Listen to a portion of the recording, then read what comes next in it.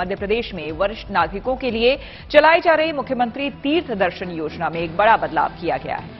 शिवराज सरकार की मुख्यमंत्री तीर्थ दर्शन योजना के तहत अब वरिष्ठ नागरिक मुफ़्त में हवाई यात्रा भी कर सकेंगे। योजना के तहत 21 मई से राज्य के वरिष्ठ नागरिकों को मुफ़्त में हवाई जहाज़ के ज़रिए भी तीर्थ यात्रा पर ले जाया जाएगा। शिवराज सरकार ने जून 2012 में मुख्यमंत्री तीर्थ दर्शन योजना की शुरुआत की थी, जिसके तहत वरिष्ठ नागरिकों को मुफ़्त में तीर्थ यात्रा कराई जाती है।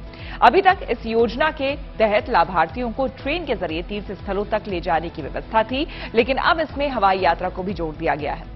शिवराज सरकार ने यह सुविधा चुनावी साल में 21 मई से 19 जुलाई तक शुरू की है। इसी साल के आखिर में राज्य में विधानसभा चुनाव होने हैं। योजना में जोड़ी गई नई सुविधा के तहत बावन जिलों में से 25 जिलों के लाभार्थियों को हवाई यात्रा के लिए चुना जाएगा। आईआरसीटीसी की मदद से लाभार्थियों को हवाई जहाज़ से प्रयागराज, शिरडी, मथुरा, वृंदावन और गंगासागर तीर्थ स्थानों पर मुफ़्त यात्रा करवाई जाएगी। हर ज़िले से 33 सीटें रिज़र्व होंगी 32 सीटें योजना के लाभार्थियों के लिए होंगी, जबकि एक सीट साथ में चलने वाले स्कॉट ऑफिसर के लिए होगी। योजना का लाभ उठाने के लिए लाभार्थी की उम्र पैंसठ साल या उससे ऊपर होनी चाहिए और आय कर दाता नहीं होना चाहिए।